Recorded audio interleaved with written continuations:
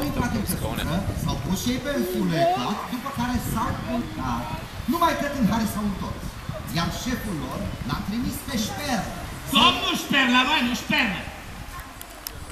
Hai! Ah!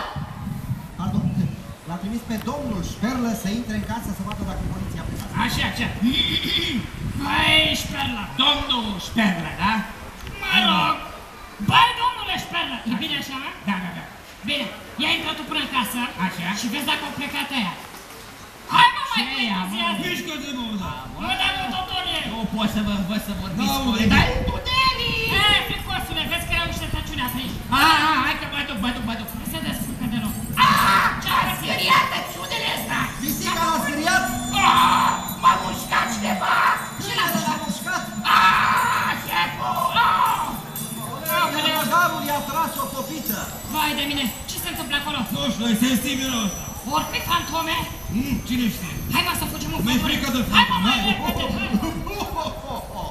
Ei bine, tâlharii, crezând că nu e numai poliția, ci sunt și fantome, au luat-o la sănătoasa spre pădure, nu s-au mai întors niciodată.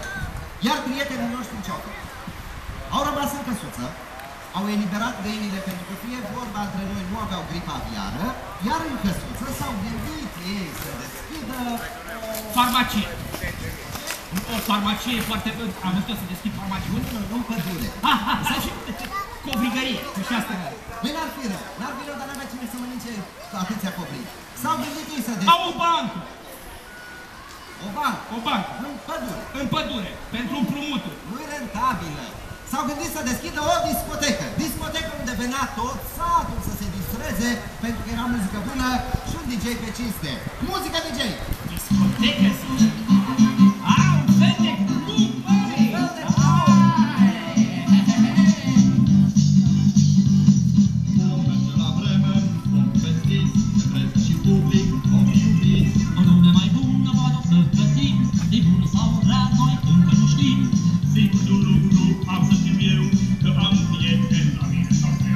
Seguro no grupo, a fazer